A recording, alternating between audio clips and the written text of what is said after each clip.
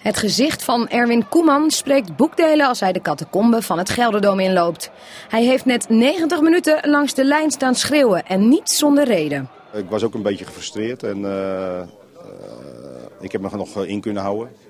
Dus, uh, maar ik, ik ben ook anders van mezelf gewend. Koeman is gefrustreerd omdat hij niets wist van de komst van middenvelder Rodney Snijder naar FC Utrecht. Volgens technisch directeur Fouke Boy moet Koeman daar niet over klagen. Op een gegeven moment kom je op een moment, dan moet je ook niet zoveel zeuren meer. Dan moet je gewoon gaan werken met, uh, met de middelen die je hebt. En, uh, uh, ik zal je heel eerlijk zeggen, ik heb in het verleden minder middelen gehad dan het elftal wat er nu staat hoor. Wordt vervolgd in elk geval. Waarschijnlijk morgen, als de directie van FC Utrecht voor de wekelijkse vergadering op het stadion bij elkaar komt. Want Koeman laat het er niet bij zitten. Heel goed onder controle, alleen ik zal het met de mensen over hebben die besloten hebben om het te doen. Ja, want hoe zie jij hem? Ik ken hem niet. Dus je, je wist helemaal niet eens dat hij onderweg was? Uh, dat hij een contract zou tekenen? Nee, nee. Wel dat ze ermee bezig waren, maar niet hoe ver en alles. Ja, ik lees ook af en toe kranten.